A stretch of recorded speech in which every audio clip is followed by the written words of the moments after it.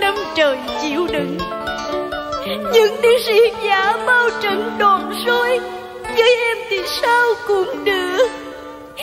Nhưng với đứa bé như thế ngày đây em không làm sao chịu nổi canh trận. Chỉ đứng nhìn cô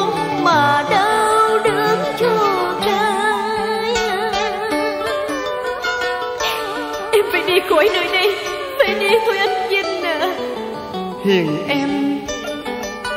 Em hãy nghe anh phân nghi giải nguồn cơn. Đừng vì nông nổi mà khiến anh phải đau lòng.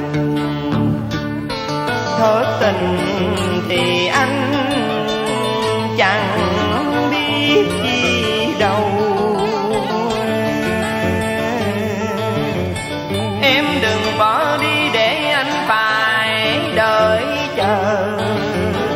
anh hứa kể từ bây giờ sẽ lo lắng cho em.